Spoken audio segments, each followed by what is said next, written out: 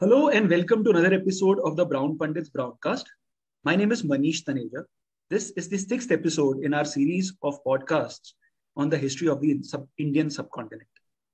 In this episode, we will cover the period stretching from 200 BC to 200 AD.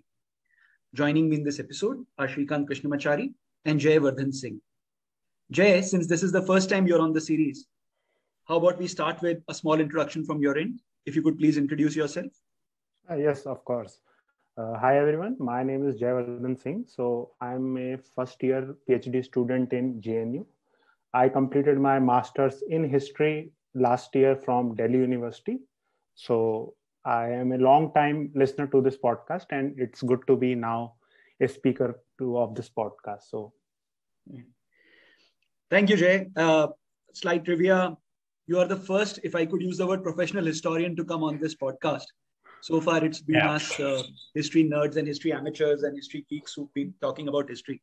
So thank you. Thank you for being here. uh, it's a pleasure. Right, gents.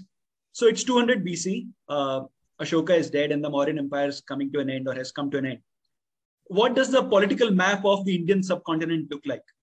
Um, Shrikant, if we could start with you, if you could take our listeners through the political map of the Indian subcontinent. Sure. Yeah. So if we uh, go back to around 200 BCE, uh, uh, the, the one thing that strikes us about this period, about this 400 year period from 200 BC to 200 AD, uh, at least focusing on uh, North India, is that the political and the cultural epicenter of Indian life, which had uh, clearly been in the eastern Gangetic plain for the previous 400 years, now kind of shifts to the west, right? Uh, and you have uh, other centers uh, emerging, uh, be- becoming more prominent, like like uh, uh, Shakala, Takshashila, Mathura in, in the western Gangetic plain and in the Indus Valley, right? And Mag- Magadha kind of declines in relative importance. I know in the previous episode we discussed the rise of Magadha, right? From Bimbisara to Ashoka. So, so during that period, you, you had the emergence of Magadha as uh, the, the main center uh, center of empire, right? First, the center of the Nanda Empire, and then the Mauryas. And uh, uh, after the decline of the Mauryan Empire, uh, you could argue that the political and the cultural epicenter it, it shifts to the west. Uh, post uh, the, the demise of Ashoka, uh, within a a generation or so, the Mauryan Empire clearly declined in importance. Uh, it could be argued in terms of what caused the decline of the Mauryan Empire. It was very likely kind of triggered by the invasions from the west of the Bactrian Greeks, right? And uh, uh, after the decline of the Mauryan Empire, you have a, a new uh, empire emerging in the east, in uh, centered around the core region of Magadha, and that's the Shunga Empire. And on the west, you have uh, increasing Yavana influence. By Yavana, I refer to the Bactrian Greeks, right, who become increasingly prominent in the west. Uh, I think in the previous episode, we did not touch as much on what's happening in the northwest. I think the focus was more on Magadha. So, in the northwestern part of India, uh, we have always had foreign influence in that part long before the start of this period that we are talking about, right? So, foreign powers were not new to the region west of the Gangetic Plain.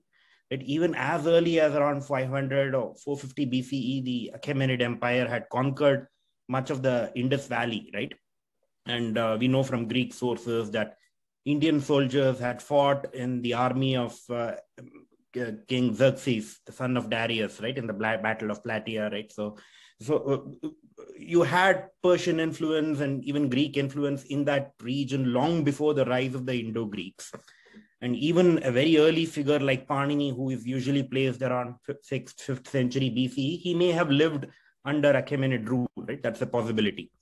So the region adjoining Madhya Desha, right, uh, the Western Gangetic Plain and even further beyond, it, it, was always influenced by foreign powers, but that became more uh, uh, strong after the decline of the Mauryas, right?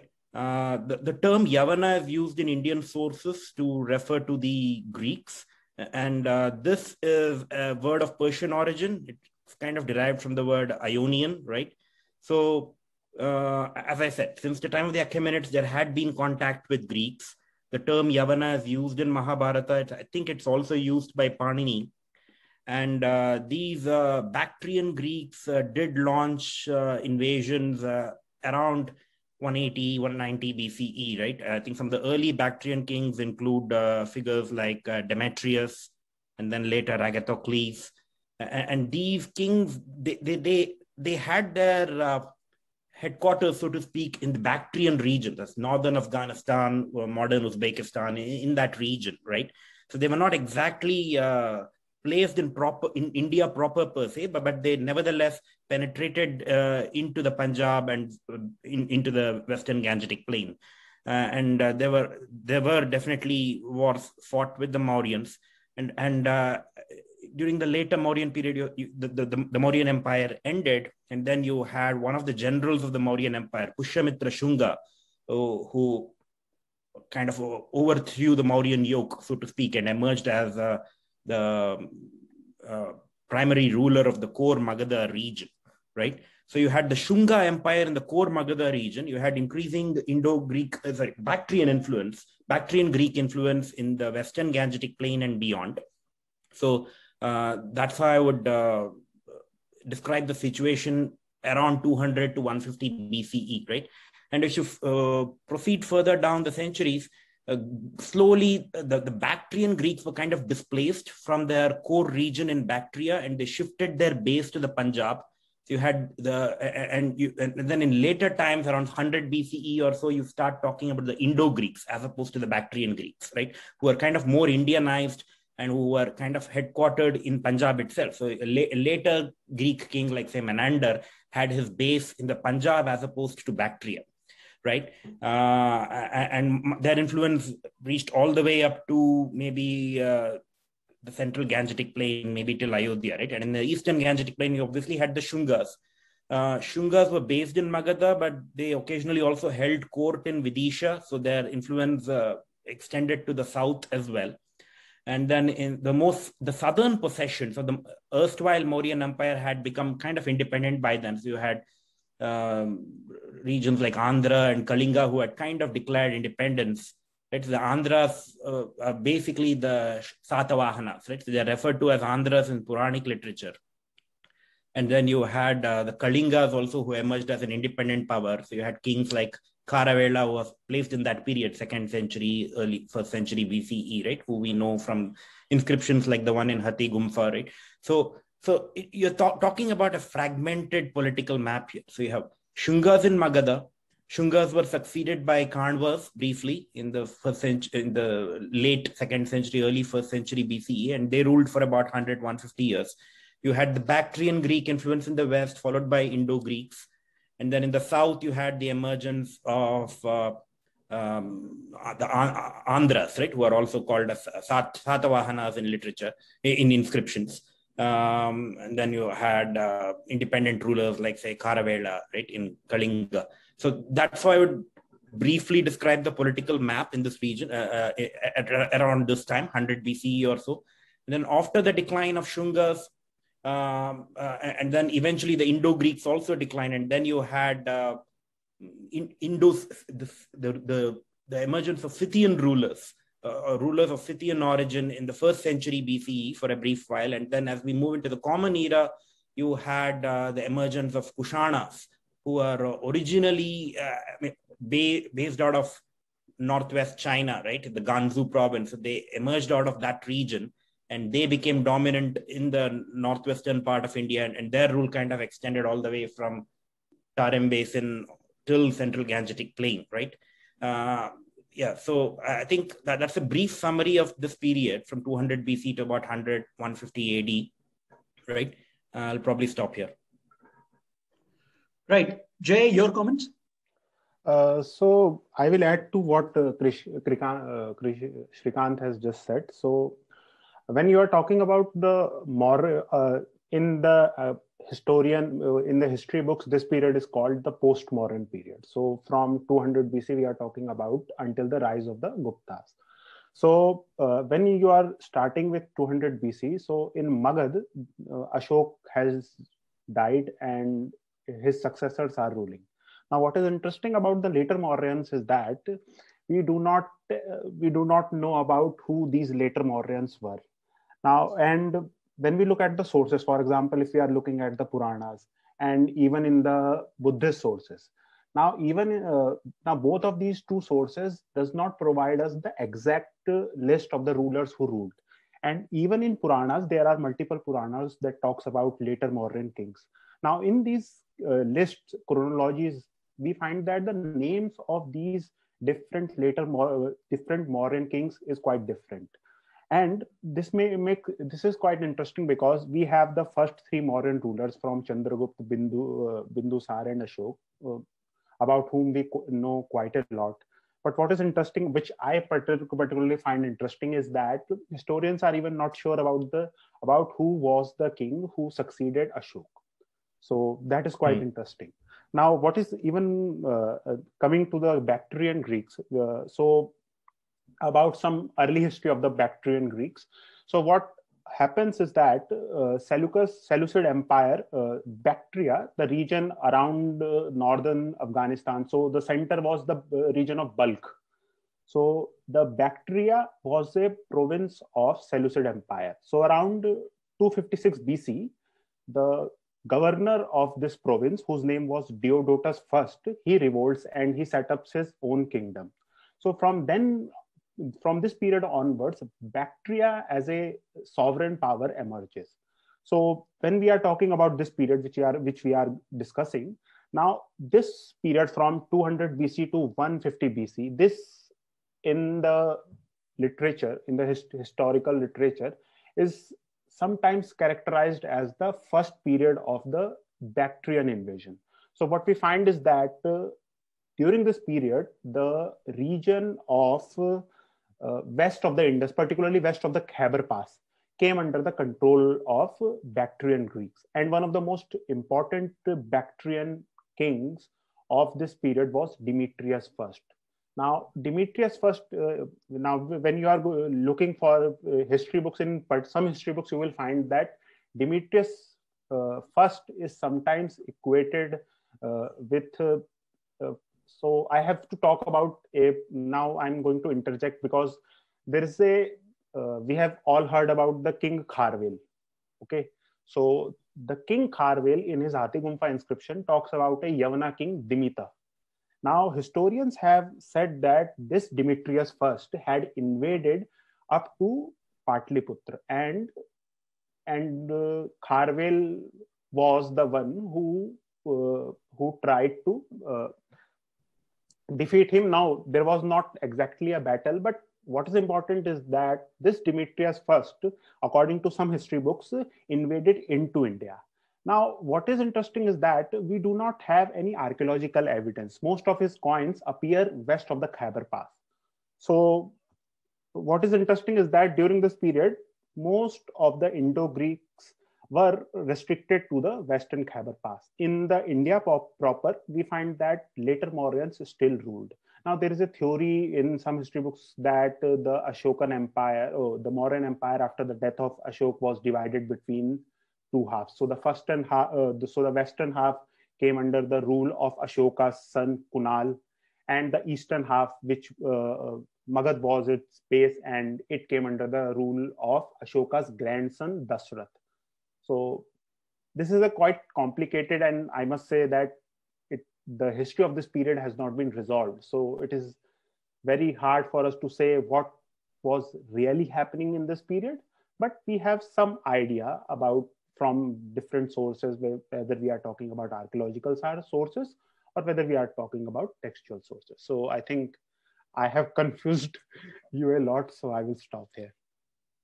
Sure. And just for our listeners, these uh, the Bactrian Empire and the people who set up the Bactrian Empire, they were part of Alexander's army. They were the Greek generals who were left behind, and they then decided to set up these empires. Is that would that be right thing to say?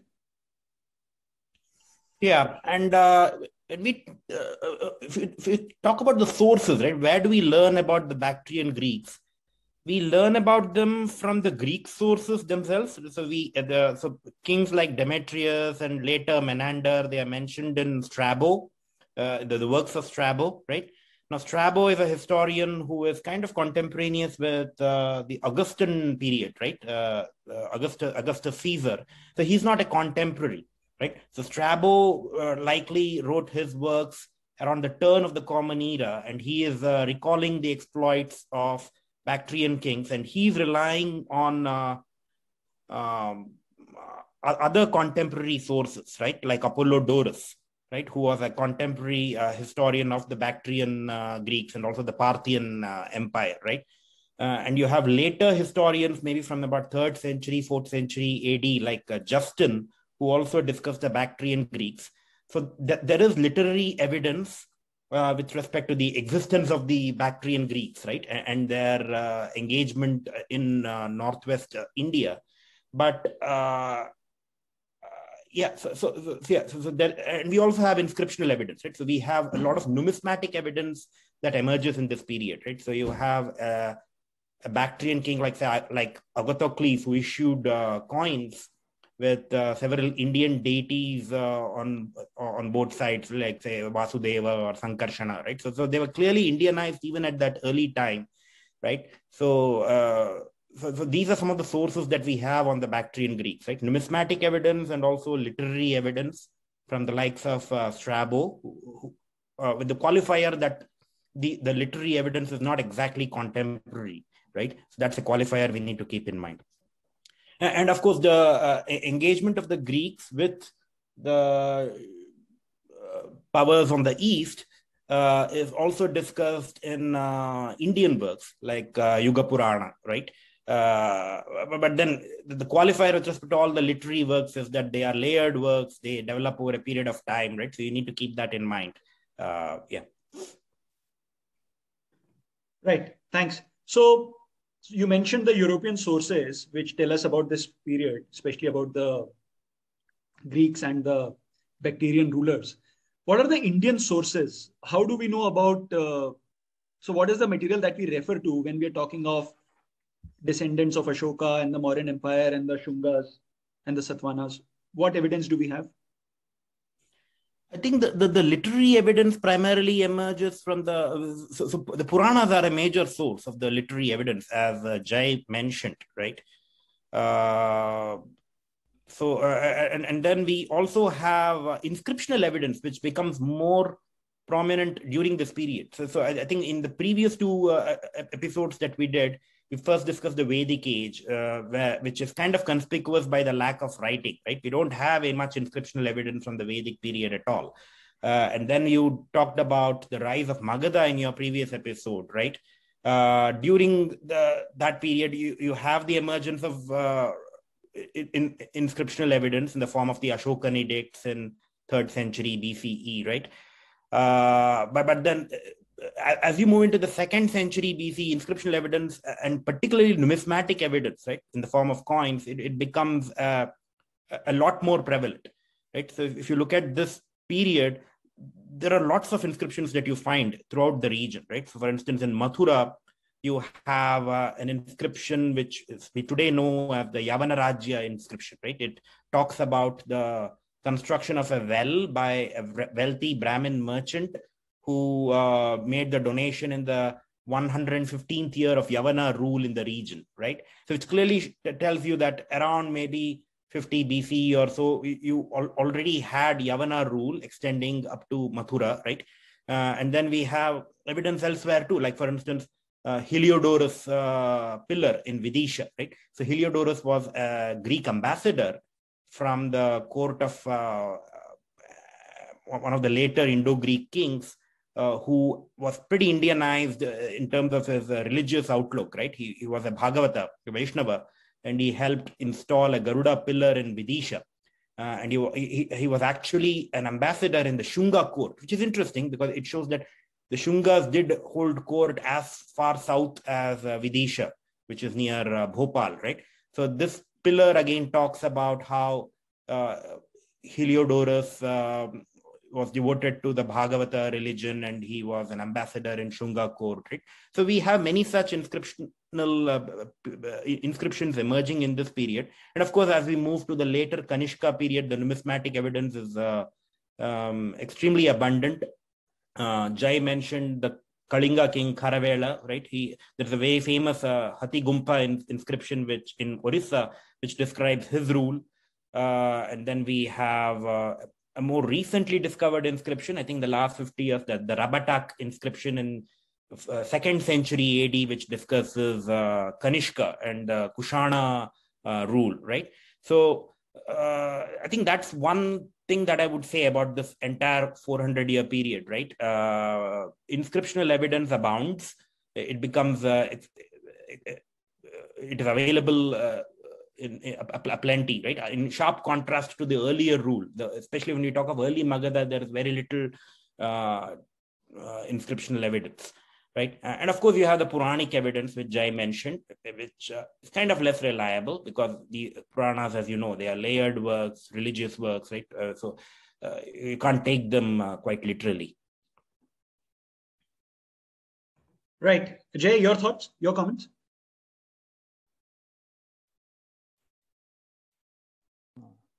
Am I audible now? Yes, you're audible.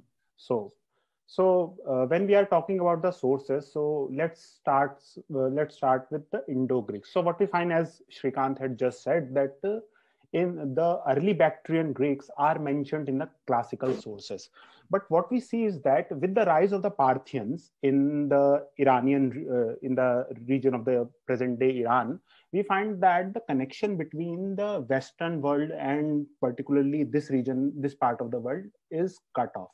So that means uh, the sources about the indo-greeks when they enter into the indian subcontinent we have very little sources about them so that is why most of the information about these indo-greeks particularly the indo-greeks who had have entered into the indian subcontinent and their base is in the northern western part of the indian subcontinent. So about these indo-greeks we only know about them through their coins.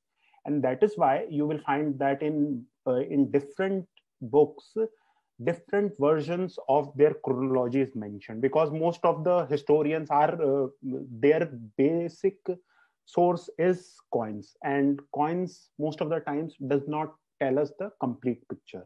Now about uh, the indo-greeks we find that in the indian sources particularly as shrikant has, has just said about the yug puran now, Yug Puran is important in this case because Yug Puran tells us that a Yavana king, uh, the Yug Puran tells us that Yavana king of Sakala invaded and uh, conquered the city of Patliputra. Now, this Yavana, this invasion is also mentioned in Patanjali's Mahabhashya. And this is interesting because Patanjali is giving an example about a, I think, uh, past tense or I forgot that. But what uh, Patanjali was saying is that Yavana, he uses uh, an example like the Yavana king is attacking the city of Patliputra.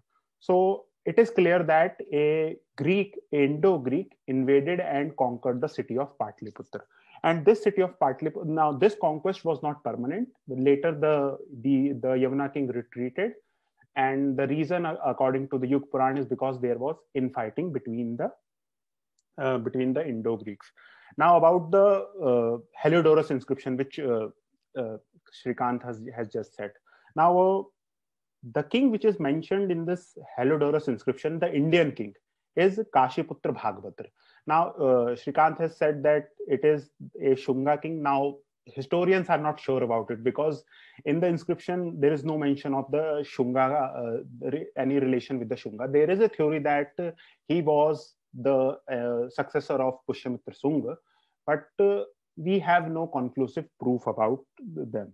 Now uh, what is interesting is that uh, when we look at when about the indo-greek kings in the puranas uh, what I find interesting is that when we are talking about Mahabhashya or whether we are talking about Mahabharata or even in the Puranas, the way these Yavanas are, de- are described is quite interesting because in Mahabharata, at one point they are described as Kshatriyas. Now in another uh, in another case they are called Shudra.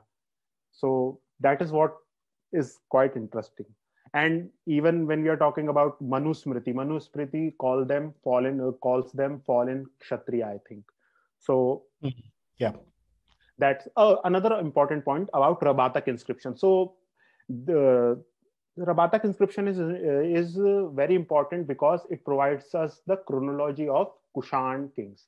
Now, earlier it was believed that the the uh, the Shaka era, the, the Shak era, which starts around 78 CE. Earlier, it was believed that the Shak era began. Uh, Shak era is the accession of Kanishka. Now, uh, because of the Rabatak inscription, it is quite clear that this was not the case. So, hmm. this is important because it shows that how how very uh, how much knowledge we have about this period which is very little to be honest. So yeah. Uh, just one thing i would like to add to what jay mentioned uh, while we are discussing sources right? We also have uh, literary sources from much later times. Uh, these are not of course uh, history works but but they at, at least do tell us something about how tradition thought about these various empires right? So you have the, the great drama by Kalidasa, Malavikagnimitram, which uh, discusses the uh, uh, exploits of one of the Shunga kings, Agnimitra, who was a successor of uh, Pushyamitra Shunga, right? And then you have Shungas being discussed in a later drama by Bana, uh, uh, titled Harsha Charita, right? Now, Bana lived during the time of uh, Harshavardhana in the 6th, 7th century AD, right? But uh, his drama discusses the uh, Shunga period briefly, right? So, so we have literary evidence as well from fourth century, uh, the works of Kalidasa, and later in sixth, seventh century by Bana, right? Of course, th- these are not history works. I'm not saying they, they are particularly reliable, but they do. That, that's another source to keep in mind. They do tell us something about how uh, Indian tradition conceived these um, uh, the successors of Mauryas. Right, right, right. Interesting. Uh, you guys mentioned that uh, the Greek ambassador was the Bactrian ambassador was involved in following the religion of which was practiced in India at that time, and he was also responsible for setting up the Garuda's statue in Vidisha. So, what was the religious interplay like? Uh, were the Bactrians influenced by then the Vedic religion? Was Vedic religion the primary religion being followed by the successors of the Mauryan Empire? What was the interplay between the Buddhist religious school and the Vedic school? Uh, that's interesting because uh, I, I, think when we talk of uh, the Greek influence, right, we need to make a distinction between the Bactrian Greeks uh, who, who are around till about 150 BC and the later Indo-Greek kings, right? So the early Bactrian kings were based out of Bactria, right? And uh, Jay mentioned uh, Demetrius. Then later, sorry, sorry, Shrikant, I'll stop you there. Just for our listeners, where is in the present geography and the present political maps of the South Asian Indian subcontinent and Central Asia, where is this Bactrian empire? Uh, Bactria is the ancient uh, classical name for the region in uh, northern Afghanistan and then uh, parts of Central Asia, I mean, uh, southern Uzbekistan, that, that region right? So right. that region is traditionally called Bactria in classical uh, sources, right? Uh, right. That answer your question? Yeah.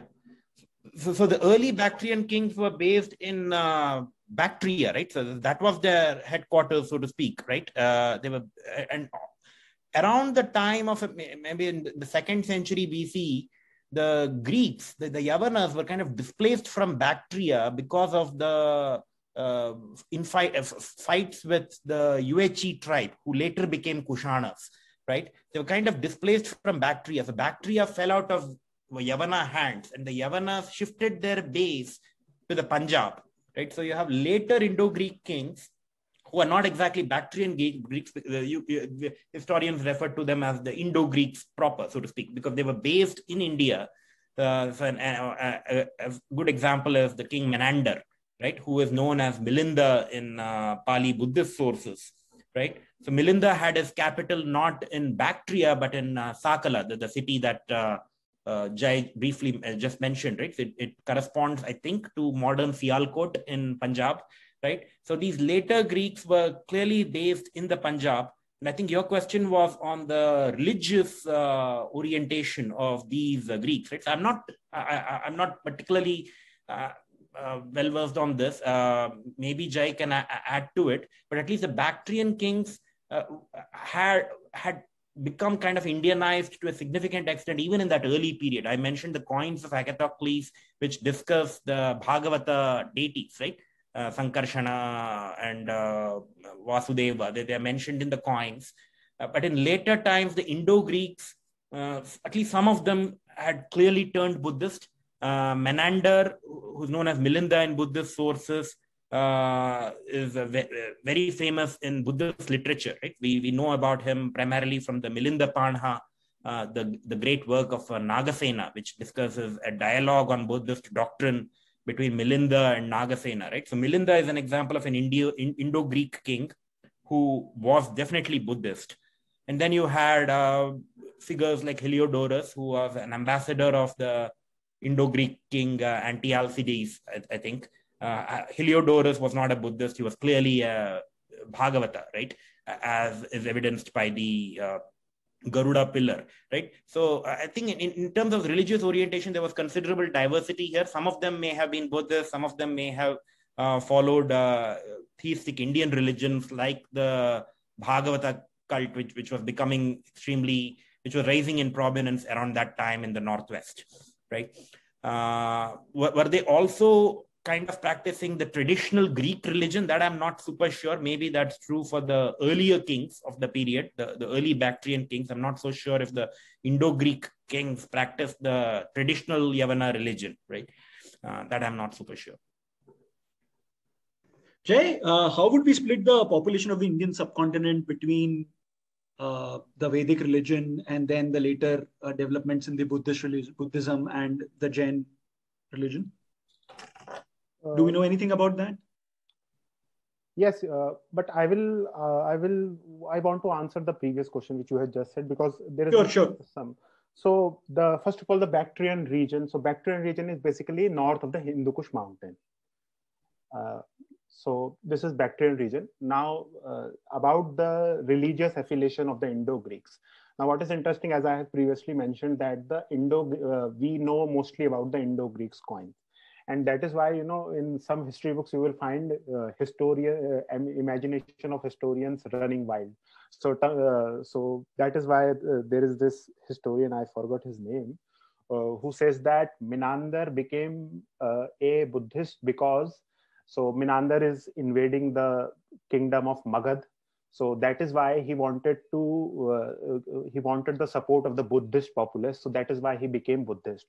And the uh, and there is a similar theory about the heliodorus pillar.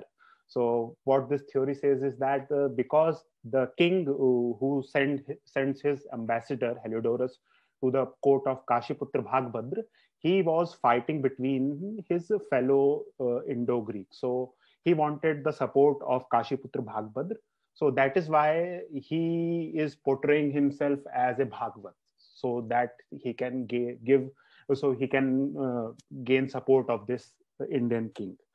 About the Indo-Greek uh, kings, we find that in their coins, the Buddhist symbols like chakra, stup is also there. Then we have uh, the Hindu uh, symbols. But apart from these two, it is clearly uh, we can clearly say that the Greek religion was also present because you have a depiction of Zeus, Nike, Dionysus. So these Greek gods and goddesses were also there. So it is fairly certain that they followed their own religion as well.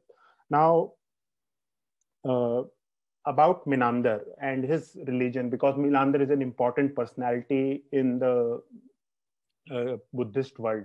So we have clear evidence that uh, uh, Menander was a Buddhist because both the Buddhist sources as well as classical sources, because in, in a classical sources, there is this uh, phrase that after the death of Minander, his ashes were distributed and temples were built over it. So you can clearly see the practice, the Buddhist practice of building stup over the ashes of a particular saint or uh, or a bhikshu so that is uh, that is the point so what what was your original question sorry or i forgot about that no that's okay i was saying do we know what was the distribution of various religious orders in the population of the Indian subcontinent right now? Which was the most dominant religion at this age?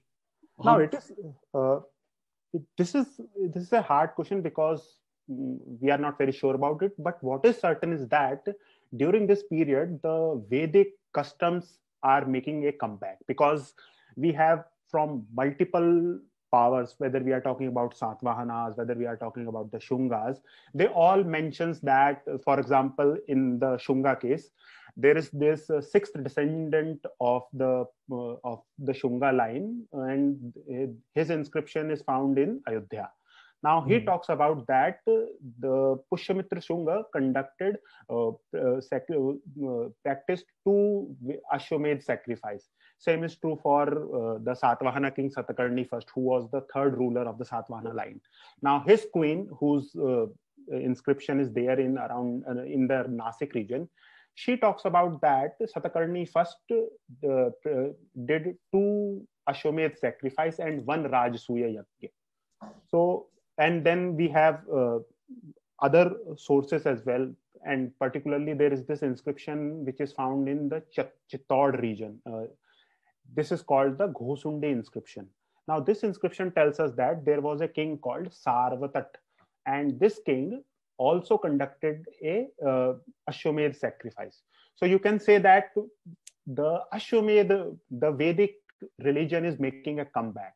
So that is quite certain. But that does not mean that the religion of uh, the Buddhism and Jainism was not, you know, declining or was not present because we have the famous stupas of Bharhut, Sanchi, and Amravati, which were constructed during this period.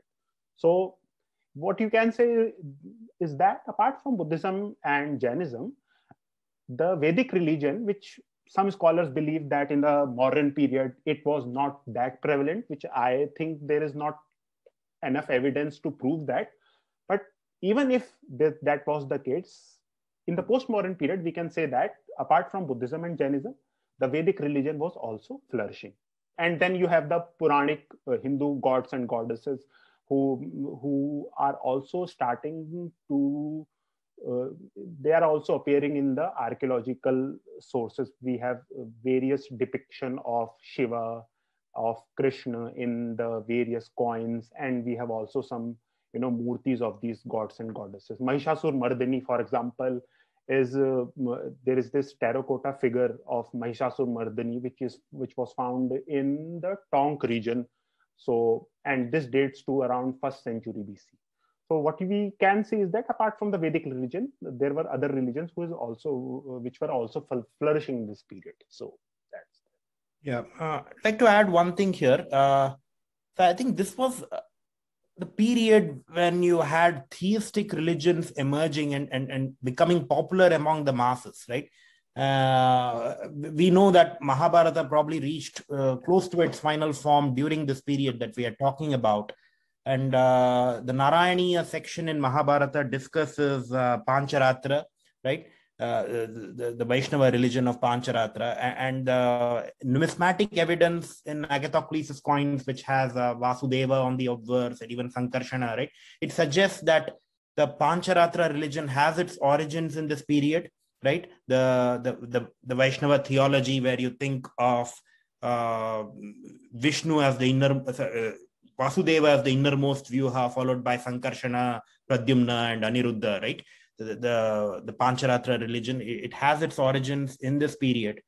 Uh, and then you also had uh, several tribes, uh, localized tribes uh, with their own specific theological uh, enthusiasm, so to speak. Uh, an example I would like to give here is that of the Yaudheyas, who are an ancient republic.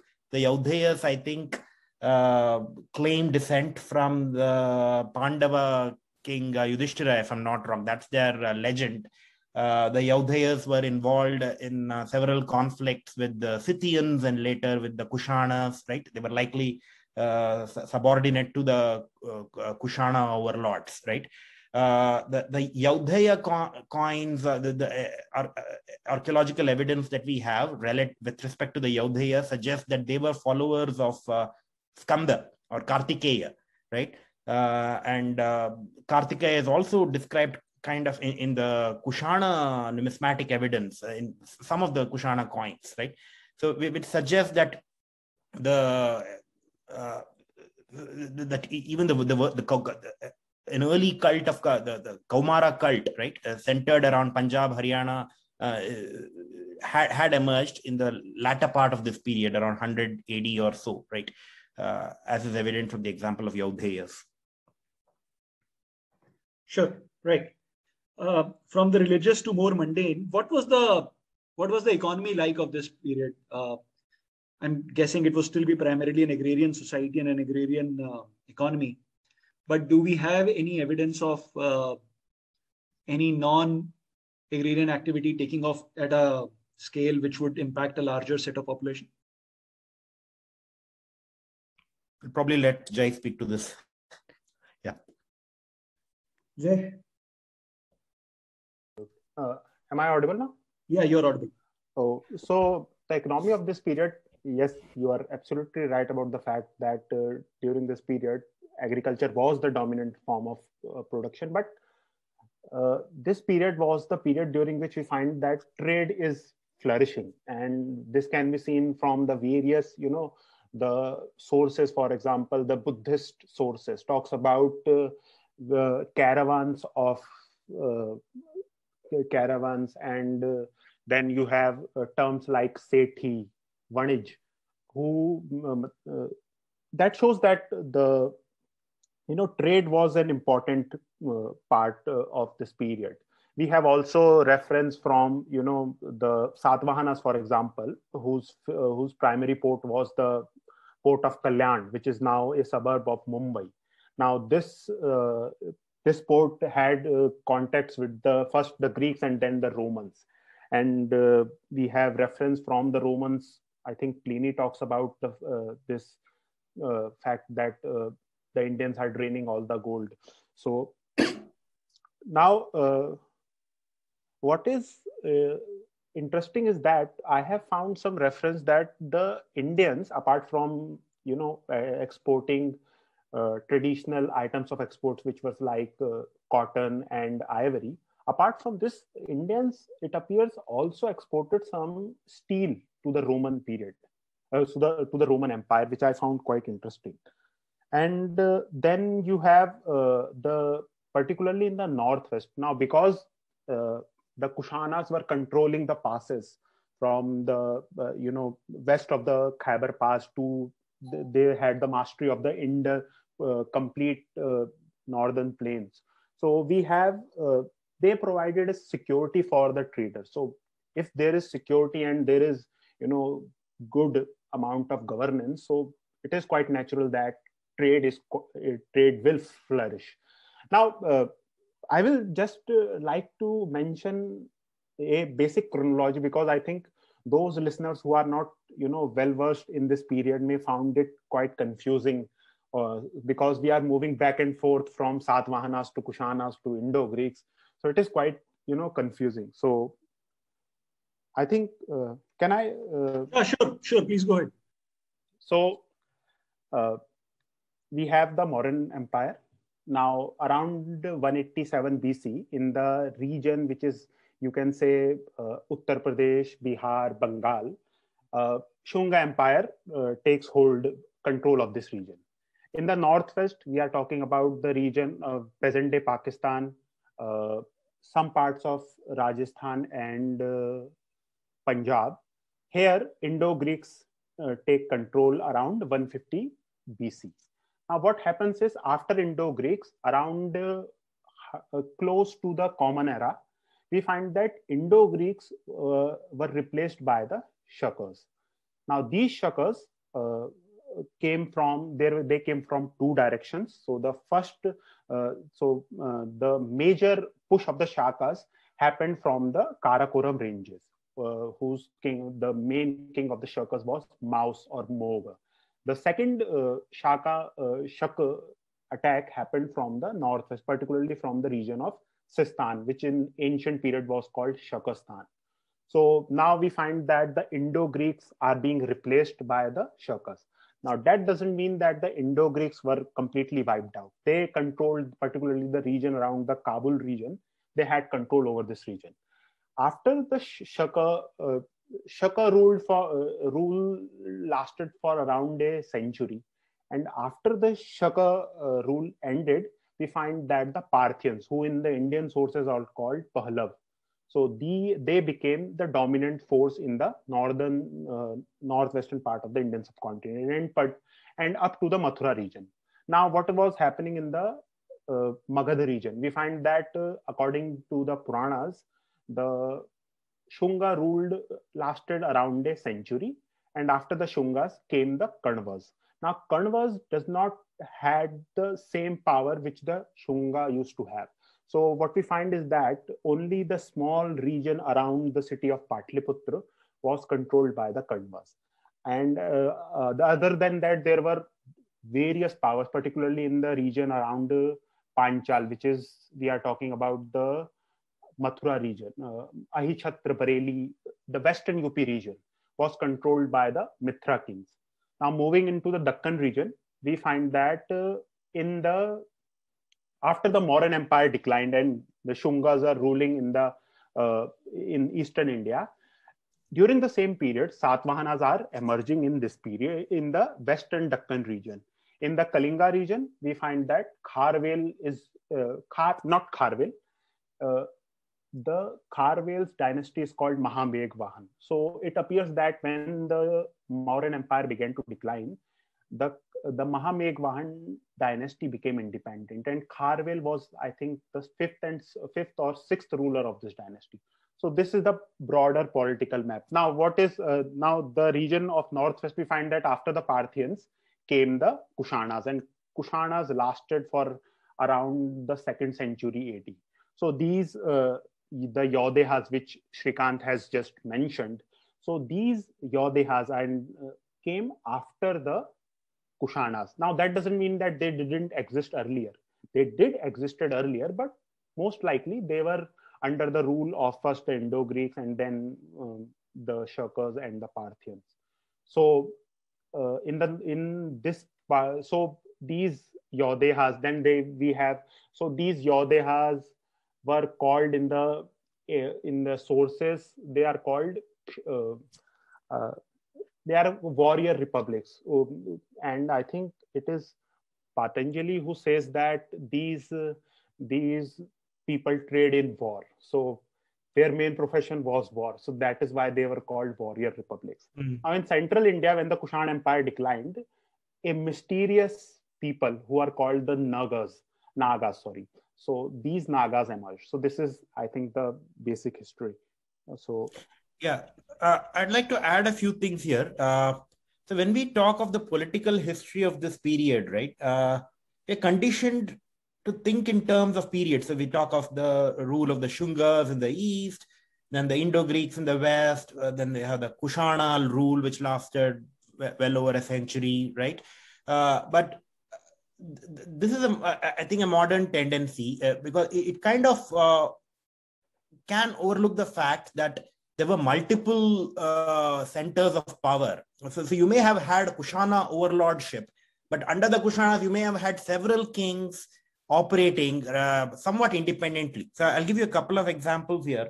Um, so in, from the second century AD, right, which is the peak of Kushana rule during the reign of uh, Kanishka, we also had the reign of Rudradaman, uh, a Scythian king in uh, Western India, right? Now, we know about Rudradaman from sources like the Junagadh uh, inscription, right? So uh, he seems to be a contemporary of uh, the Kushana king uh, Kanishka, right? having said that, he's an independent king in his own right. So, what was his relationship with the Kushanas? We're not super sure, right? So, this suggests that we shouldn't be thinking of these uh, empires uh, uh, in isolation, right? So you may have had multiple centers of power, uh, different uh, uh, gradations of authority, so to speak, right? I'll give you another example. if you go back to around first century BC, the middle of first century BC, we find an inscription in Mathura, which we today know as the Yavanarajya inscription, right? this particular inscription talks about uh, a Brahmin merchant who commissioned the construction of a well in that region, right? And, and it mentions a, a, date. It says that this happened in the 115th year of Yavana rule. So, uh, uh, but uh, as you know, you just heard Jay, we, we also know that during this period you had the Mitra kings operating in the Mathura region, right? But, but at the same time, this inscription talks of uh, the Yavana era, right? The hundred, the, the, this particular donation happened in the 100th year of the uh, Yavana uh, rule in that region, right? So this just goes to show that uh, things were not super clear cut, right? So the, the, same region may have been under the influence of multiple political players, right? And and and that is something we need to uh, bear in mind, right? So the, these were not exactly strong states, centralized states. Uh, the way we are conditioned to think of them today, right? So we may have had uh, multiple centers of authority who often overlapped in scope and in power, right? Uh, uh, that's po- quite possible. Yeah. Sure. No, this helps. Now I'll pull you guys back to what we were talking about the economy and the trade that they were uh, these people were doing. Uh, Jay, you mentioned a very interesting point that uh, there is also evidence of steel getting exported. Where was the steel made? Who were making the steel? Uh, was it being made in the Magadha region? Because that's where we understand uh, the mines are and the deposits are. Where was the steel being made, and what do we know about this trade? Now, this steel, uh, which we, I think it, Marshall talks about it. So I don't remember the source. I think uh, it is very hard. Most likely, it is from the western part of the western coast uh, region. So it is from there the steel was being exported. But no, it was being exported there, but was it also made there? Or was it made in south of India, south of India? Or do we know anything? No, no, no. It's very hard for us to say because you know not enough evidence. But primarily the trade was then in cotton and silk. No, no, cotton, ivory, and then the most important thing is spices. Spices, cotton and ivory. Uh, yes, ivory is important because we have a uh, uh, figure of Lakshmi, uh, which is found, I think, from Pompeii, which is made in made from ivory, if I remember correctly. Now, an another important point which uh, Shrikant has just said, I will add to this. Now, the you know Kushan, if you look at search uh, search about the Kushan Empire, you will see this you know large map Kushan rule controlling different parts of you know Central Asia and northern India Shrikant is right because you know uh, the uh, Kushan governors had great powers. Even they issued their own coins, so it was not a centralized state. So just wanted to add that. Yeah. Um, uh, so going back to religions, I, I, I know uh, Manish, you mentioned talked about religious orders just a while ago, right? Uh, I think our fo- when when we answered that question, we focused kind of primarily on the Indo-Greeks. Uh, so now if you were to shift our attention to the Kushana period, right? So the Kushanas emerged uh, sometime in the towards the end of the first century CE, right? Uh, the, their earliest emperor is Kujula Cadphises. I'm not sure if I'm pronouncing the name right. Uh, so these Kushanas were obviously foreigners, and uh, they had their origins in uh, northwest China, in the Gansu province, right? So they moved out of that region. We, we, know about them even from Chinese sources, right? Like the Book of Later Han, just composed in the early centuries of the Common Era, right? Uh, they had kind of displaced the Indo-Greeks in earlier times from the Bactrian region. And now, when we move to about first century CE, they gradually made their way into India. So Kujula Cadphises is the first major uh, Kushana emperor, uh, uh followed by uh, I forget the name of his successor, and then eventually you have Kanishka coming in his line. I think Kanishka was the grandson of the uh, of, of uh, Kujula Cadphises, right? Uh, uh, Kanishka is the Kushana emperor uh, who ruled over a, a, a, a, very large territory, right? Ranging his influence ranged from about Tarim Basin all the way up to Saketa in central Gangetic Plain, right? Uh, and uh, we clearly know that Kanishka was a major patron of Buddhism. So according to Buddhist tradition, he did preside over the, I think, the fourth Buddhist council, which was, I think, held in Kashmir uh, in uh, second century CE. So the uh, Kanishka at least was a major patron of Buddhism, and, and it was I think during his period that Buddhism uh, spread to China via the Silk Road. Right, so the origins of Chinese Buddhism lay in this period, the second century CE. Uh, but but Kanishka also issued coins with uh, Hindu deities, right? So, so clearly he was tolerant of uh, multiple faiths, right? But the importance of Kanishka in Buddhist history cannot be uh, uh understated. Uh, I think he's an extremely important figure. And since you mentioned religious orders, I think we need to briefly discuss the history of Buddhism in this period, right? Uh, i think even in the previous episode, we probably didn't spend as much time on uh, Buddhist literature, right? So we have the emergence of the Pali canon, right, which compri- comprises of uh, the three Pitaka, Pitakas, right?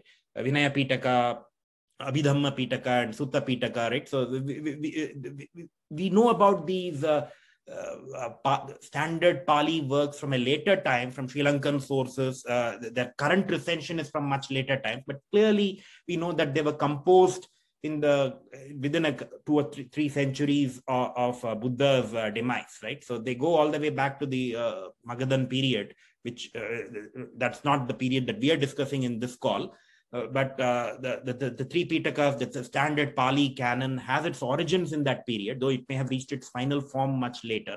So the Pali canon is associated with the Sthaviravadan school, right? Um, which is also known as the, the, Theravada school of Buddhism, which is today very dominant in uh, Sri Lanka primarily, and also I think in Thailand. Uh, but what you see during this period, the Kushana period, is the emergence of the greater Buddhist vehicle, the Mahayana school, so to speak, right? Uh, so the Mahayana Buddhism uh, took off during this period, and it was this uh, school of Buddhism which kind of spread to China and beyond, right, through the Silk Road. Uh, Kanishka obviously was a great patron of Buddhism. He uh, presided over the Buddhist Council in Kashmir, and Kashmir during this time emerged as the center of the Sarvastivadin school as well, right?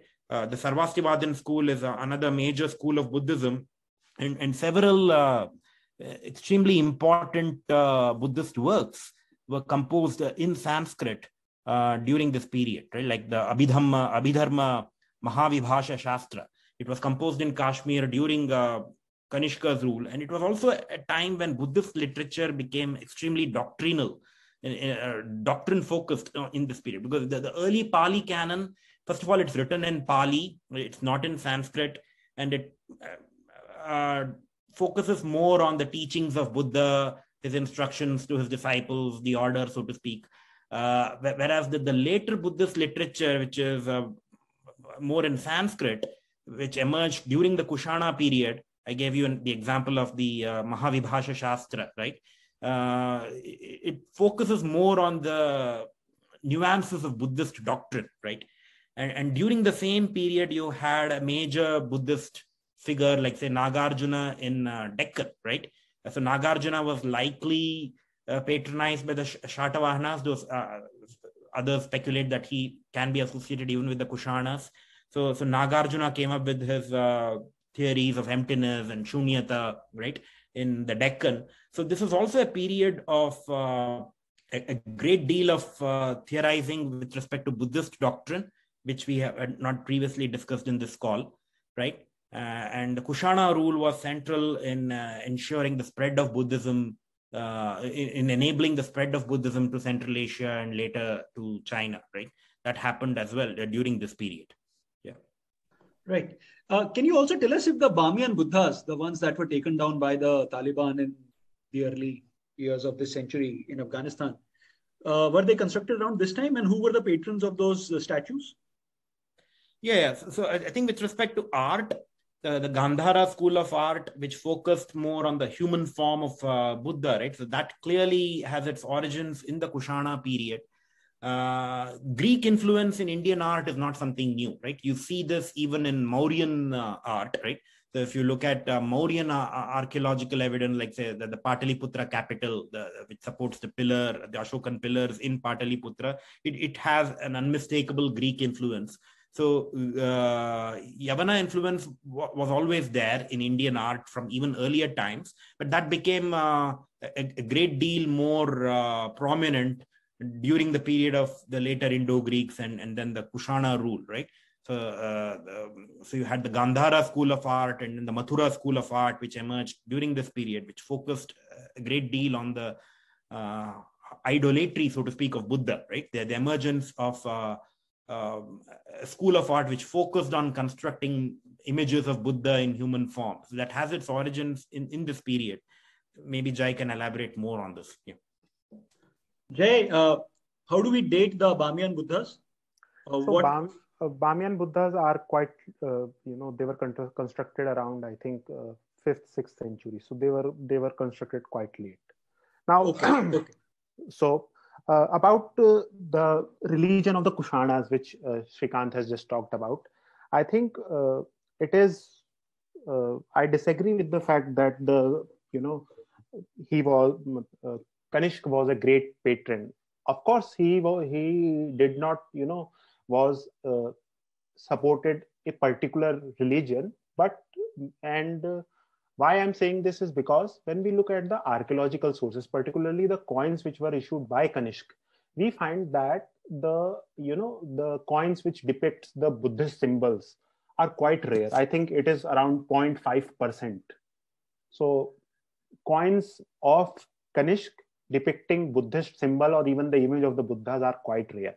And what is even more surprising is that in the Pali canon, which talks about, you know, which has mentioned which uh, which talks about Kanishk, does not necessarily say that Kanishk was a great patron of Buddhism. So one question which arises from this is then how we say this that Kanishk was a great patron. So this comes from the Chinese literature because in the Chinese literature, Kanishk is represented as the second Ashok, so to say. And uh, of course, we have the famous, you know, the stoop which Kanishk constructed around uh, the city of Peshawar. So I think the religion of the Kushanas was primarily the Iranian religion, but they supported other religion like Hinduism and Buddhism because it was politically, you know, sound strategy. You are ruling a vast empire which has different cultures, so you don't want to be supporting a particular religion, and you know that will be problematic to your rule, which will create further complications for the Kushan rule. So it was, I think, it's my personal opinion that it was much more than uh, a political, you know, activity. So yeah, so I'd like to add one thing here, right? I mean, I, I don't necessarily disagree with what Jay is saying uh, much of the association of Kanishka with Buddhism emerges from later literary works uh, in uh, China and also the work. I think uh, some of the recollections of much much later figures like Huan Tsang, right, from uh, who lived in seventh, sixth century, seventh century AD, right. Uh, having said that, of course, Jay did mention Kanishka coins having several Hindu deities as well but that could also be have been uh, driven by political expedience, right? So, so you, for instance, the Yaudheyas likely were uh, subordinates to the Kushana kings, right? And, and we know that Yaudheyas were uh, uh, uh their religious uh, orientation was towards the Hindu god of Kartikeya, and, and, this may have kind of motivated Kushana kings like say Kanishka or, or successor Huvishka to issue uh, a, a, form of Kartikeya in their coins. Right, uh, you have coins bearing Skanda or Kartikeya uh, in later Kanishka period, and that was pro- probably because they wanted to keep uh, in their good books, right? Who are kind of their feudatories, so to speak, right?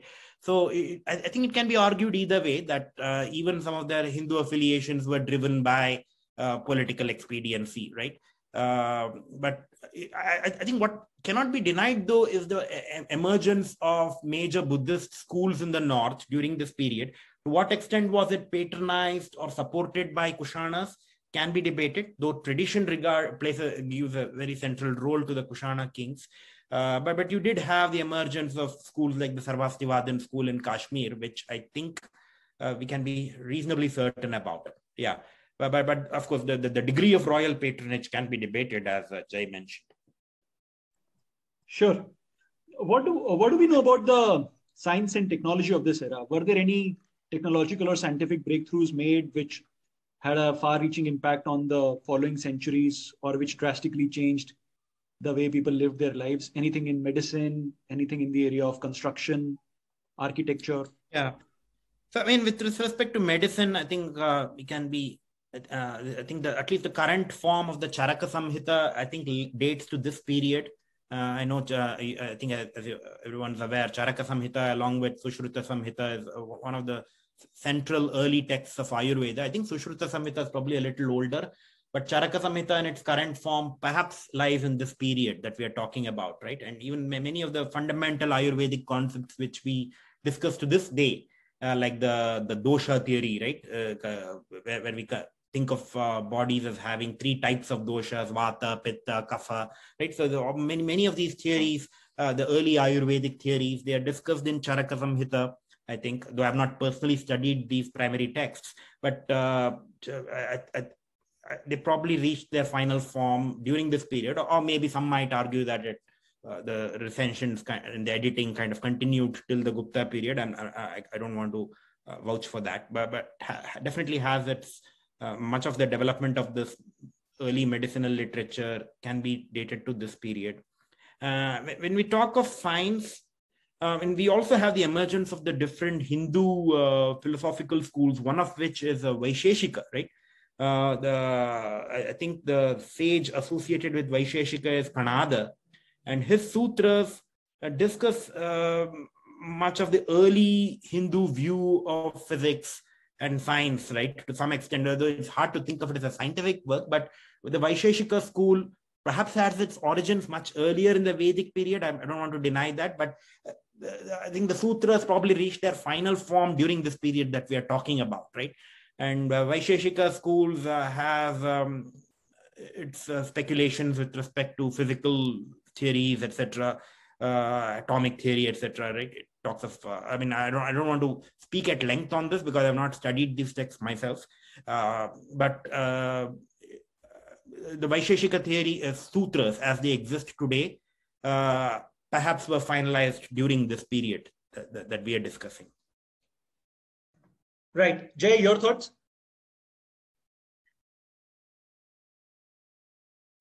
Jay? Oh, uh, so about science and tech. So what we find is from the archaeological sources is that from this period we have large number of you know uh, glass materials. So some some scholars argue that during this period you know glass was produ- produced at a greater scale and the reason for this was that the glass blowing technique which is a technique in which you uh, i think blows glass i forgot to have so i think the glass blowing technique which means that you can generate more heat. So so this means you can achieve a greater quantity of glass production. So we have large number of you know material made of made from glass and this was exported to different regions. And the crude uh, glass came from uh, western uh, central asia and also from china apart from this uh, there is this place called shringaverpur near allahabad from there archaeologists have discovered a water management system which used to bring the waters of Ganga through a canal. And this was a, uh, a type of, you know, system where which allowed the storage of water so that it could later be used for harvesting. Then about uh, the architecture which you have uh, talked about, architecture is this in this period is quite distinct from the modern period because you know when we talk about the our architecture of the Mauryan period we are talking about uh, ashokan pillars ashokan uh, capitals and then there are some Yashka, yashka's images. Now what happened during this period is uh, in some literature uh, particularly in indian uh, history books uh, the term is used as popularization of the indian art by this they the historians mean that during this period we find that the most of the patrons who uh, who you know financed the construction of various stupas were actually not royals. So there's this scholar called uh, Vidya Dehejia. Now she had analyzed the inscription from Sanchi Stup. So now the Sanchi Stup in its current form was constructed, uh, particularly the toranas and the uh, railings uh, were constructed during the post-Mauryan period.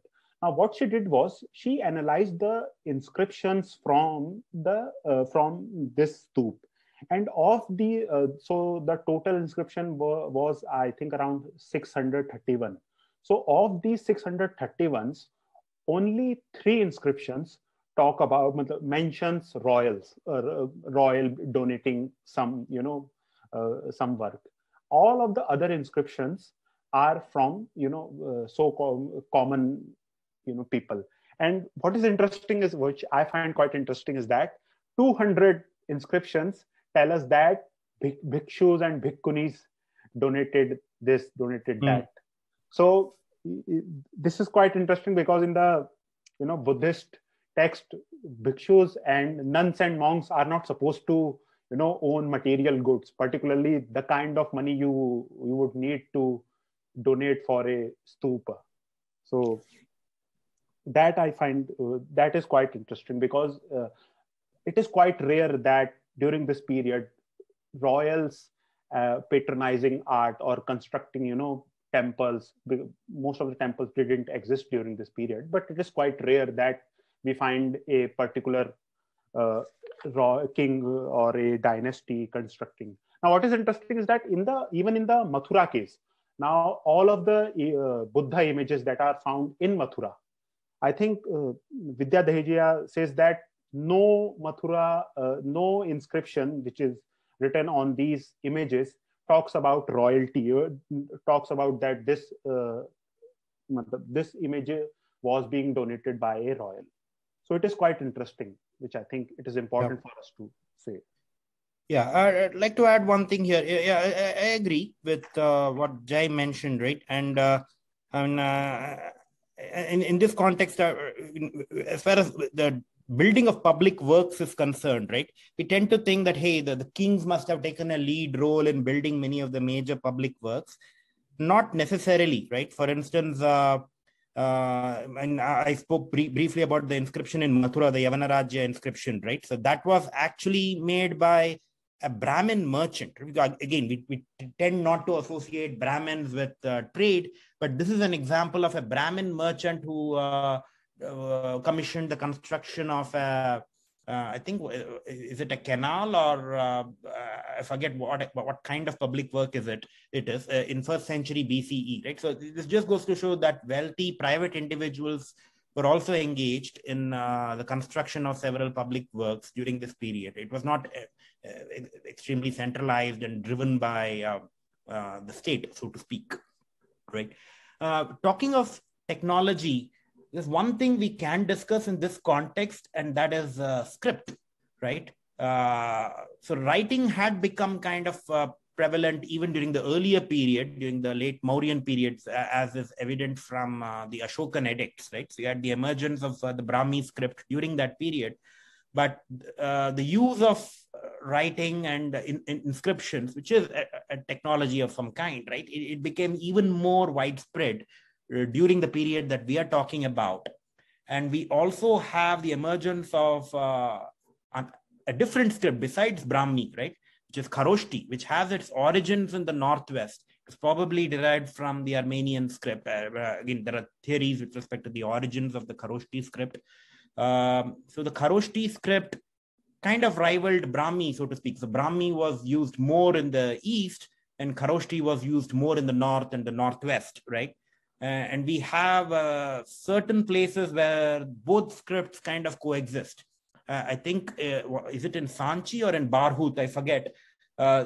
Some of the some of the inscriptions are in Brahmi, whereas some of the outer railings, the, the inscriptions on the gateways, etc., is I think in Kharoshti, right?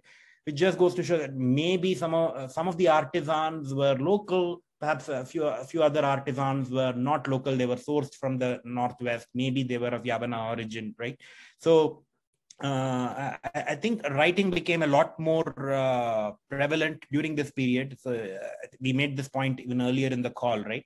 And uh, uh, in this context, I would love, I'd like to mention even the Rabatak inscription of uh, Kanishka, right? Which talks about how Kanishka was responsible for discontinuing the Greek script and moving to the Bactrian script, the, the local Indo-European script, right, uh, as opposed to uh, the Bactrian language, so to speak, right? He stopped writing in Greek, and then he, uh, he there was a change in the choice of script uh, during Kanishka's period. I think this is discussed briefly in the uh, Rabatak inscription. Uh, I, I, forget the details here. so I, I think uh, I think that's one thing I would love to like to add here: the, the increasing prevalence of the Kharoshthi script in the west uh, and uh, the Brahmi script in the east, right? And there are also places where both scripts kind of coexist. Sure, excellent stuff. Uh, before, yes, Jay, go ahead. I would like to add uh, something about what just Krish, uh, Shrikanth has just said. Now, this period is quite important in when, when we are talking about the inscription because this was the period when we find Sanskrit inscriptions first appearing. Mm.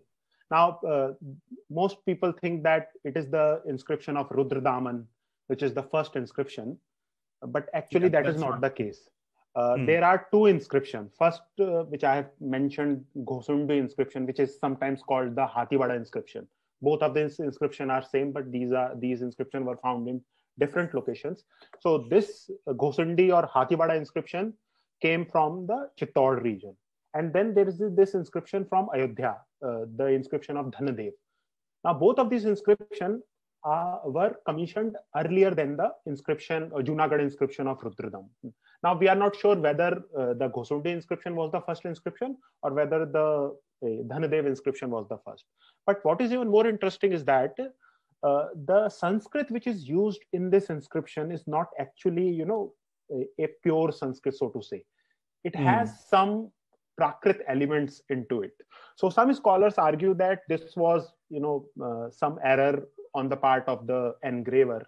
But I think uh, there is not enough discussion about the fact that in the Indian tradition, writing is not encouraged so, for example, we have the famous, I think Mahabharat says that those who write Mahabharat will go to hell. So, it is. I oh, sorry, I'm interrupting you. Where does it say this? In Mahabharat, I think I forgot. Uh, uh, but there is actually there is actually a mention of this in Mahabharat that anybody who writes down Mahabharat will go in hell. Is it? Yeah, no, no. Uh, those who write the Vedas, oh, will okay. go to hell. And uh, so I think the the fact that Prakrit appears first and not Sanskrit is is because of this reason. And the fact that even in the in these sanskrit inscription we have some elements of prakrit i think goes to show that uh, there was this you know uh, taboo a sort of a taboo that sanskrit should not be written. Now i am not you know i won't like to claim that this is the case, but I think this is an important thing which we can uh, discuss a lot. About Rabatak inscription, which Shrikanth has just mentioned, what is interesting is that uh, uh, uh Kanishk says that uh, he is, you know, using the Aryan language uh, because the Bactrian language is Eastern Iranian origin, I think, if that is the so. Yeah, Sure. Shrikanth, your thoughts on uh, what Jay just mentioned? Some kind of a taboo against writing down uh, Vedas, or uh, you you've read anything? You've heard anything? Yeah, I think that is pretty uh, well understood. Uh, that right, that, that, there was always a strong uh, aversion to writing Vedas down. So the, the way we discussed this even in our earlier podcast, right? That the Vedic literature was entirely composed orally, right? Uh, and it uh, survived uh, as an oral tradition for centuries, right? Was probably we don't exactly know when the Vedas were first com- committed to writing. Perhaps during this period, or maybe a little later. I, we're not super sure on that. but but there was always a, a strong uh, aversion to writing uh, Vedas uh, down, right? a strong prescription, I would say, right? and did the same aversion extend to Sanskrit more generally? Maybe, maybe not. can't be too sure here. Having said that, I think Jay is right that inscriptions in Sanskrit start coming up fairly early, as early as first century BCE. So you have the Ayodhya inscription from the Shunga period, which is in Sanskrit. Then you have the Rudradaman inscription from second century CE. Uh, and and th- there are several others in between, right? So it's not as though Sanskrit inscriptions emerged uh, much, much later than Prakrit inscriptions. So they emerged uh, within a few, uh, within a couple of hundred years of the earliest Prakrit inscriptions, right? Uh, and uh, yeah, so I, am not sure if there, there was a, a, any st- strong aversion against writing in Sanskrit, but definitely there was uh, a strong aversion against writing the Vedas down, right? Which is, of course, a different matter. Yeah. yeah. Sure. Now, sort of to wrap up the episode, I would ask the two of you, between the two of you, if you could come up with either five personalities or school of thoughts or phenomenons that have sort of that we can say originated in this period and which sort of still survive in the subcontinent or their legacy still survives in the subcontinent. Hmm. Yeah. So uh, I, I, think when we talk of literature and that's something we didn't discuss uh, so far right the, the literature of this period uh, one person who clearly belongs to this period is uh, patanjali right the the mahabhashya of patanjali was definitely uh, can definitely be placed in this period. He was likely a contemporary of uh, Pushyamitra Shunga, or maybe an, an, elder contemporary who definitely overlapped with Pushyamitra Shunga. And uh, he was a great grammarian and a commentator on uh, Panini's earlier work, the Ashtadhyayi, right? Uh, so Patanjali definitely is an important figure. He belongs to this period, but, but but this is not quite the same Patanjali who wrote the Yoga Sutras. Right? We shouldn't confuse Patanjali, the grammarian, with Patanjali, the yoga theorist, right? I think the, the yoga theorist Patanjali likely lived much later, perhaps during the Gupta period, but the grammarian Patanjali can definitely be placed in this period, right? Um, talking of other personalities, yeah, and talking of literature, sticking to literature, um, we already spoke about Buddhist literature, uh, right? Uh, so one, one of the great uh, classics of Buddhist literature is Milinda Panha, the Questions of Milinda which is takes the form of a dialogue between Milinda and the Buddhist monk Nagasena, right? Uh, and uh, this uh, we, are not sure in which language was this work composed but i think the current versions exist in pali from sri lanka maybe there, there are chinese translations as well but the original language may have been either sanskrit or gandhari uh, language, dialect gandhari prakrit uh, but, but, this is a great classic of Buddhist literature, um, which is uh, widely read uh, even today. Uh, and this was likely composed in first century BC or thereabouts, right? Milinda, of course, is the Indian name for Menander, the Indo-Greek king, right, who turned Buddhist. Uh, the, the, the, other great work which can be placed in this period is Ashwaghosha's Buddha Charita, right, which is, which is one of the early poems in Sanskrit. Obviously, the epic literature is older than Ashwaghosha. Right? So Mahabharata and Ramayana, those are, of course, layered works, uh, and they clearly predate Ashwaghosha by a long margin. But Ashwaghosha's Buddha Charita is a, is a great classic of Sanskrit literature. It discusses the life of Buddha, right? Uh, and Ashwaghosha was, I think, a native of Saketa, which is the uh, which, which, is basically Ayodhya, right? And um, Perhaps Ashwaghosha was uh, inspired by Valmiki Ramayana, which is regarded as the Adikavya of Sanskrit, one of the early works in Sans, classical Sanskrit, right? Um, so that again uh, can be dated to this period. Was Ashwaghosha uh, a figure in Kanishka's court? Maybe. I think that's a, a common speculation. They're not sure what, what's the basis for it. Uh, right? So, so these are some of the great literary works which we can be definitely be placed in this period. And obviously, as we discussed in earlier episodes, you have the two great epics, Mahabharata and Ramayana, which are obviously much older. I mean, they have their origins in the Vedic period itself, but they likely reached their present form during this period or maybe a little later, right?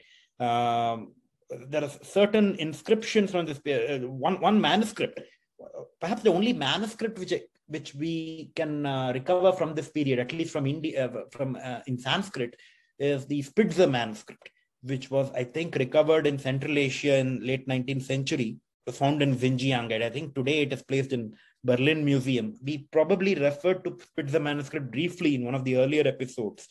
Uh, it, it is, uh, I mean, Spitzer manuscript talks about Mahabharata as it existed at that time. Right? So some uh, it, it, Spitzer manuscripts, I think, usually dated to first or second century CE, and the Mahabharata that it describes, it's more more or less corresponds with the Mahabharata we have today. So it doesn't mention one of the Parva. I think Anushasana Parva is not mentioned in the Spitzer manuscript, perhaps because Anushasana Parva was kind of clubbed with Shanti Parva in that period, uh, right?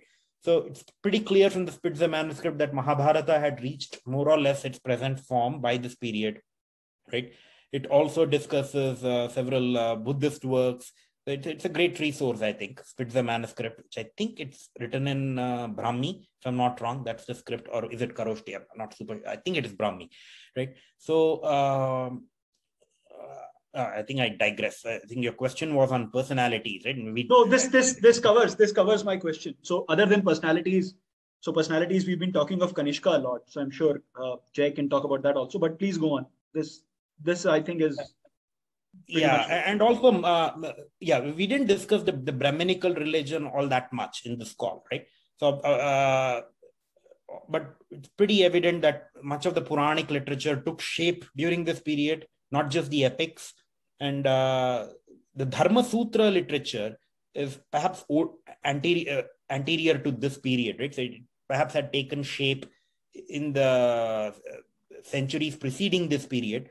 But the Dharma Shastra literature uh, likely took shape during this period. I think Manusmriti in its present form can clearly be placed in this period that we are talking about, 200 BC to 200 AD. Right? This is not to say that Manusmriti in its entirety can be placed in this period. Right? So Manusmriti is uh, also known in traditional literature as Manava Dharma Shastra, right? Uh, it's mentioned even in Kautilya's Arthashastra. So clearly there is a proto-Manusmriti which is much older than this period, but Manusmriti in its present form can be placed in this period. And, and, and it talks about how many of the ethical ideas and moral ideas have uh, undergone a change, perhaps because there was a Brahminical reaction to the Nastika religions, which were gaining in uh, prominence, right? So, for instance, uh, some uh, Manusmriti takes a negative view of widow remarriage, right? Which, as we all know, right? Though widow remarriage was perhaps not viewed as negatively in, in earlier times, but clearly there's a change in the ethical climate during this period, right? And also practices like niyoga. I think uh, the audience is familiar with what niyoga is. Uh, niyoga is viewed uh, unfavorably by Manu, uh, by Manu, right, in his Manusmriti. Though uh, uh, legendary literature like say Mahabharata suggests that niyoga was practiced even by kings right, in earlier times, but there's a negative sentiment emerging against some of these uh, practices during uh, this period, as is evident from Manusmriti, right? Sure.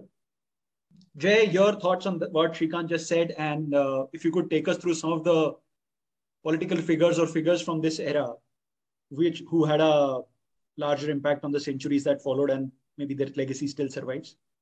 So uh, I will start with Ashwa Ghosh because Shrikanth has just talked about him. Now, uh, about Ashwa Ghosh and his connection with Kanishk, this comes from the Chinese sources, and the story is quite in interesting. So, I will briefly tell this story. So, the Chinese sources tell us that uh, Kanishka's army is on the gates of Patliputra, and uh, in order to spare Patliputra, uh, the king of Patliputra, the name of this king is not mentioned.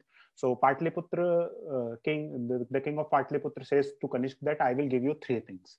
So these three things which uh, this king of Patliputra gives to Kanishk is first is a cock. The second is the bowl in which Buddha used to take his arms. And the third is a, poet whose name is Ashwaghosh. So and finally we, uh, it says that Kanishka accepts these uh, these offer and he his army retreats. So this is the story of how uh, we have this connection between Ashwaghosh and Kanishk. Now, uh, interestingly, that uh, the in an, an manuscript of uh, related to Ashwaghosh, which which is a drama called Sariputra Prakaran, which talks about the two dis chief disciples of Buddha, Sariputra and Maudgalyan. So these uh, this drama of Ashwaghosh was also recovered from the Turfan, which is basically the Xinjiang region. And this manuscript was found in 1913. So it is, you know, fairly recently that we know that uh, he talked about uh, has also authored a drama about uh, uh coming uh, uh, about the Sanskrit dramatist who is, I think, most important of this period is Bhas. And one of the because Bhash earlier it was believed that most of the plays written by Bhash has now been lost. But what uh, but around you know in the first half of uh, the first quarter of uh, 20th century, in the southern uh, I think it is in Mysore or uh, in I think it was in Kerala. In Kerala, yes, yes. Mm. Yeah. 13 plays of Bhas were found. So this goes to shows that I think how much knowledge is still not, you know, we have uh, about this period is not, mm-hmm. you know, and then we, uh, has talked about Manu. I think uh, when we talk about the Dharma Shastra and Dharma Sutra literature, I had this confusion. So I think the difference between Dharma Sutra and Dharma Shastra is what I can, uh, I know is, if I'm wrong, uh, Shrikanth, please correct me. The Dharma Sutra literature is called Dharma Sutra literature because the uh, the these treaties are in the form of sutra form. So these verse, uh, these uh, writing is in sutra form. Why, whereas in the Dharma Shastra literature, it is in verses, shlokas. Hmm. no, no, verses, sorry, not in meters, not shlok. So that's the basic difference. And Manu, for example, is an important personality. But, but before Manu, the uh, the early Dharma Shastra, which are basically the four Dharma Shastras, like uh, Apastambha, Gautam, Bodhayan, and Vashisht. These those would be Dharma Sutras. I think Apastambha, Bodhayana, those are Dharma Sutras. Yeah. Oh, sorry, sorry, sorry. I, I, I yeah, confused. So these, according to uh, some scholars, particularly Patrick Olivelle, so he argues that uh, the post-Mauryan period, during this period, that these four uh, Dharma Sutras were written. Now, what is interesting is that in these Dharma Sutras, there were 18 other authors who are mentioned, but we don't have any manuscripts about these uh, these authors. And one important uh, personality which is mentioned in this Dharma, uh, Sutras and we about whom we do not know uh, is, is a person called Hariti. Now, Hariti is important because Hariti is you know more conservative and uh, in the, I think in Bodhayan and in Vashisht Sutra, uh, Hariti is conservative because he says that uh, there are various you know references. For example, he talks about Hariti says that those children of outcast are also children, whereas Gautam says no, no, no, that is not the case. The children of outcast are not uh, not outcast. So that shows that during this period there was a you know uh, there was disagreements agreements so there was not a you know fixed ideology that one uh, that even the authors of dharma uh, sutras and dharma shastras used to follow now uh, coming to the manu uh, and his manu smriti some i think uh, some scholars have said that the importance of Manusmriti is exaggerated but that is not the case you know because the later dharma shastras for example brihaspati brihaspati who wrote his Dharma Shastra around, I think, in the fifth century uh, AD, and even Yajnavalk. Both of them uh, have show uh, says that Manu is the you know authority when we talk about uh, the various what a uh, person should do or what a king should do or not do. That is important, and even in the medieval literature, it is the Manu Smriti, which is quoted fairly often. Now, there is a difference between Manav Dharma Sutra and Manu Smriti. Both are the same, but in the translations, particularly which were done in, I think, in the 19th century and 20th century, the term Manu Smriti is used in, in, instead of Manav Dharma Shastra.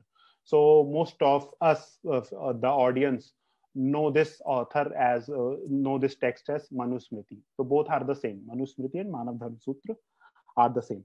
Now about the, you know, you have talked about the, you know, uh, what were the uh, impact impact this period had on the later periods. So I think one important technology which I have forgot to mention is the use of stirrups. The earliest evidence of the use of stirrups comes from India and particularly uh, from Sanchi and there are some you know uh, images from Mathura where we find that stirrups are being used. Now this had a great impact on the cavalry and uh, in this period we find that the dominance of cavalry becomes extremely important because you know uh, when we have the Shakas and then the Parthians and then the Kushanas, their strength mainly lie, uh, lied in the uh, use of heavy cavalry and also the light cavalry. And you know this shift from the earlier, for example, uh, says that the king who has a good elephant, war elephant, uh, is you know stronger and one should uh, he recommends that king should uh, deploy more elephants so that he could conquer more.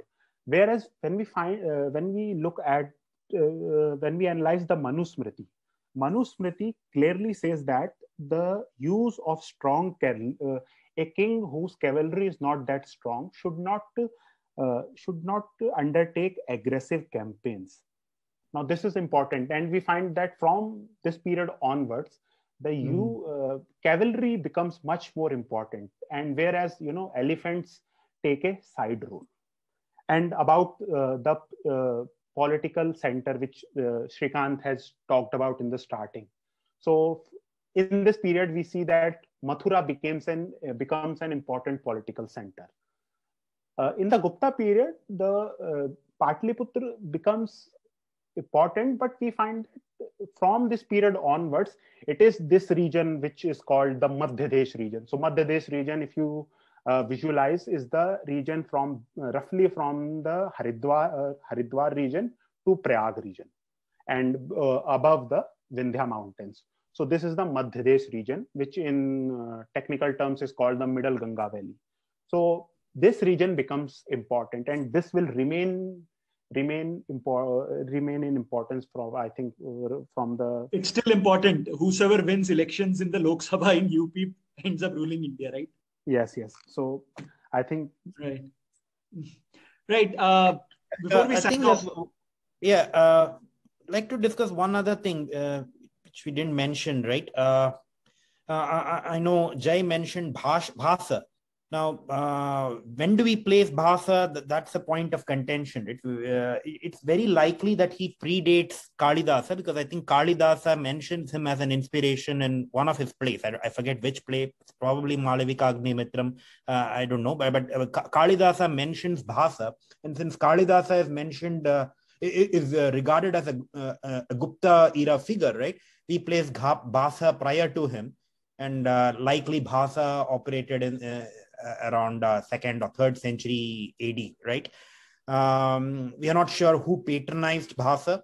Uh, by the way, this is also a period uh, when uh, theories of dramaturgy uh, and music emerged, right? Because the, the, great Indian, the, the, great work on Indian art and aesthetics Bharatamuni's Natya Shastra likely reached its final form during this period. I think that is a common consensus in academia.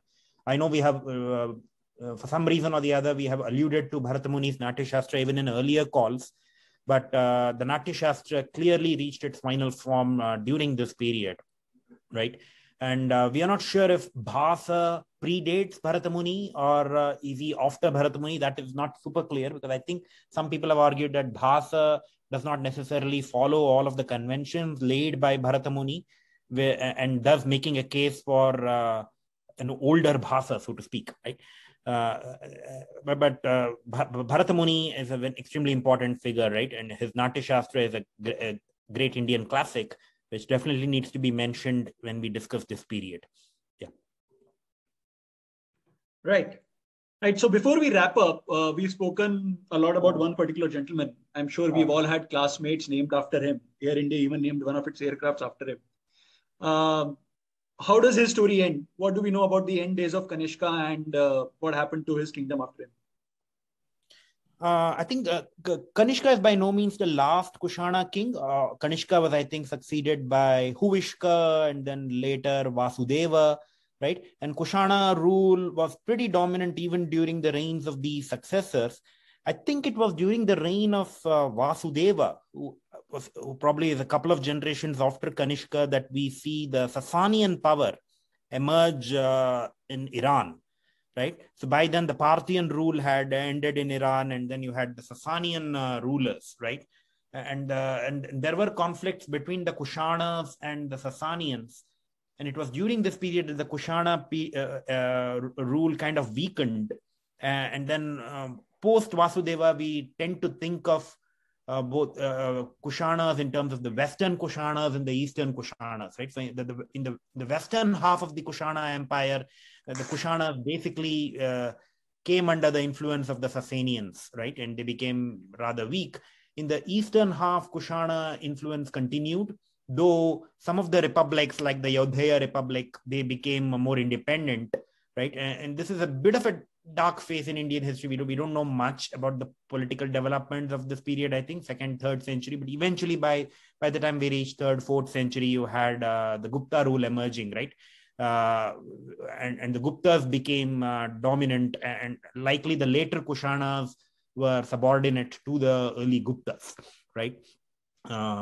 So clearly, the, the, the, the, rule of the Kushanas had uh, had it reached it, it, reached its heyday during Kanishka's rule. It probably continued for one or two generations after him uh, before uh, the empire disintegrated. Right. This was wonderful, gentlemen. I would like to inform our listeners that as part of episode notes, we will mention all the reference material and all the sources that our speakers have quoted. Thank you. This was wonderful. Thank you, Jay. Thank you for coming on the show. Thank you, Shrikanth. Thank you.